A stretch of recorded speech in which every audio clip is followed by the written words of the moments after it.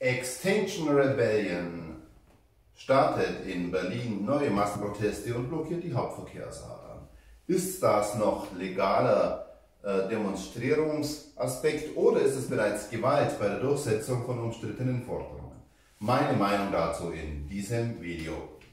Welcome at Active News. Mein Name ist Michael Langhans, ich bin Volljurist und Videoaktivist und dies ist mein Videokanal.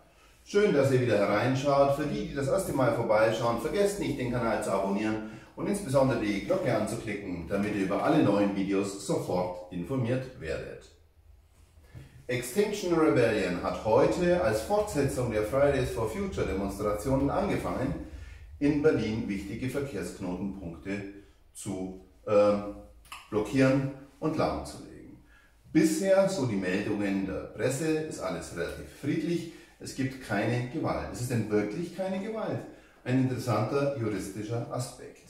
Das Bundesverfassungsgericht hat in einer Entscheidung, die aus meiner alten Heimat Augsburg herrührt, nämlich eine Autobahnblockade als Demonstrationsmaßnahme, klargestellt, dass das bloße Sitzen auf einer Straße kein Blockieren und damit auch keine Nötigung, keine Straftat sein kann. Da hat aber der BGH für Strafsachen einen interessanten Aspekt äh, wahrgenommen. Er hat nämlich gesagt, mag ja sein, dass die Leute allein nicht illegal eingreifen. Es ist aber nun mal ein Fakt, dass das erste Auto, das halten muss, dann selber ein tatsächliches Hindernis für den gefährlichen Eingriff in den Straßenverkehr darstellen kann.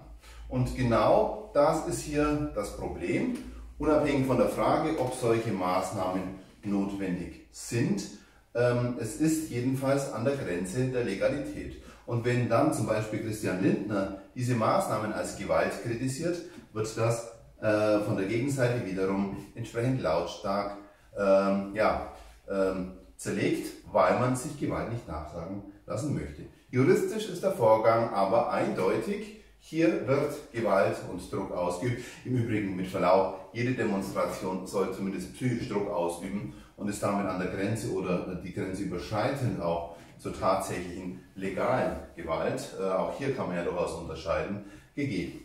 Aus meiner Sicht äh, mag eine solche Reaktion einmalig äh, zulässig sein, wenn es zur Dauer wird, wird aber hier eine Diktatur des Mobs auf der Straße über die nach wie vor, ja, das muss man ja ganz klar sagen, mehrheitlich andere Meinung in Deutschland ähm, begründet. Und da haben wir dann wieder ein grundsätzliches verfassungsrechtlich äh, rechtsstaatliches Problem. Wir hatten ja das Problem, die Diskussion schon mehrfach, dass man Greta Thunberg und ihre Fridays for Future Aktionen nicht mehr kritisieren darf, wenn man ansonsten äh, quasi medial platt gemacht wird.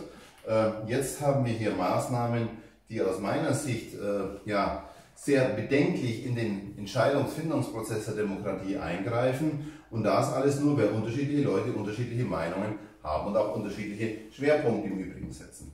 Das Gleiche ergibt sich im Übrigen auch, wenn man die aktuellen Forderungen anschaut, die äh, Fridays for Future Deutschland erhebt, zum Beispiel, dass man 80% Steuer für Einkommen ab einer Million äh, machen muss. An der Stelle ist auch die Grenze äh, der bloßen Klimaschutzpolitik überschritten, wenn man in die Fiskalpolitik einzugreifen versucht. Und genau deshalb muss man sich dann eben, liebe Leute von Fridays for Future äh, Deutschland, entsprechend behandeln lassen, so wie man sich auch als SPD oder CDU behandeln lassen muss. Wer Bockmist von sich gibt, den muss man auch entsprechend kritisieren dürfen. Und genau hier ist im Übrigen auch der große Unterschied zu dem Vorgehen von Greta Thunbergs Fridays for Future Demos am Freitag. Wenn ich eben diese äh, Forderungen, die aber jetzt nicht ident sind mit den Extinction Rebellion Forderungen, ähm, letztlich als Maßstab nehme, die eben viel weiter gehen als das bloße Umweltanlegen, dann muss man sich schon die Frage stellen, ähm, inwieweit hier nicht eine neue politische Bewegung versucht, durch einen mächtigen Straßenkampf, möchte ich jetzt fast formulieren, hier ihre Meinung der Mehrheit aufzuoktroyieren. Eure Meinung ist gefragt, kommentiert wie immer auf YouTube unter dem Video in den Kommentaren. Tretet mit mir in Diskurs, sagt mir, was haltet ihr davon, legal, notwendiges Mittel etc. Ich möchte eure Meinung wissen und vergesst nicht, das Video zu liken und zu teilen. Für Active News, Michael Langens.